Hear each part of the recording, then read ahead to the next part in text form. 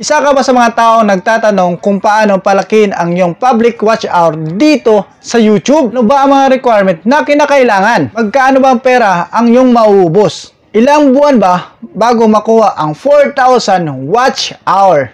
Ilan lang yan sa mga katanungan na natatanggap ko nung ako ay nagsisimula pa dito sa YouTube.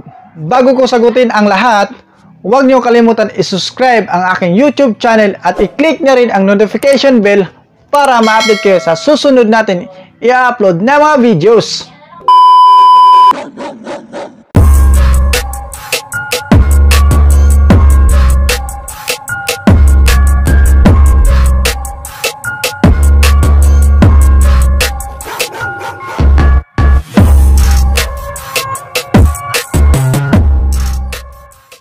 Alam ko naman dito sa aking YouTube channel, maraming mga bago na nanonood at nagtatanong at nagtataka kung paano makuha ang 4,000 watch hour. Ngayon mga kapatid at mga kaibigan, ibibigay ko ang the best parts of the tips na alam ko.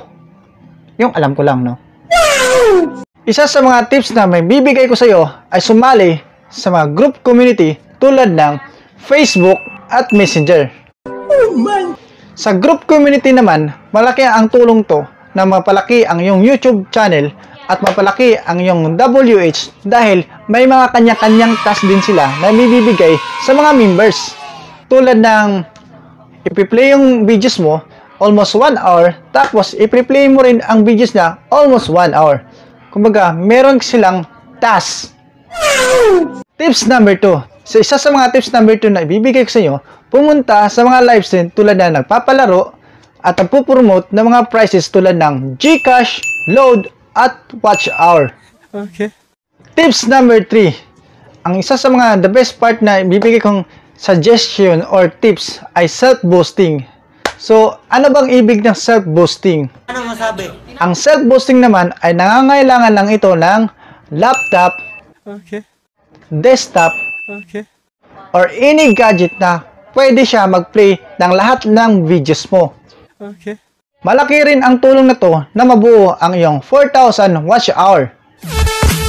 Tips number 4. Sa mga tips number 4 na ibibigay ko sa iyo ay bilang isang live streamer or live stream. Ano masabi? Ang live stream naman, isa sa mga malaking watch hour na nibibigay ni YouTube habang ikaw ay nagla-live stream.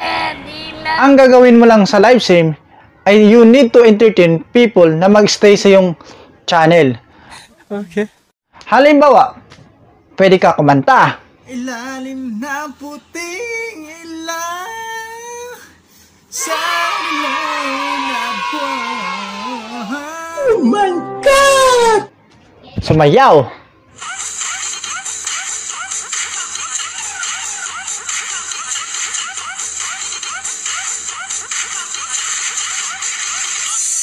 Oh my God!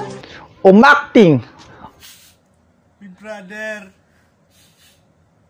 baka pwede ba papasok din sa bahay mo?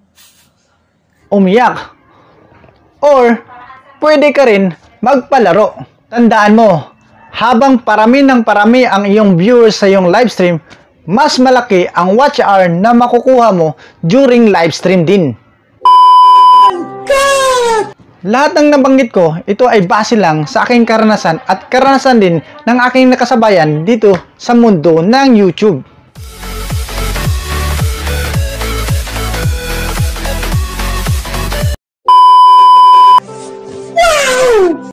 Yun oh!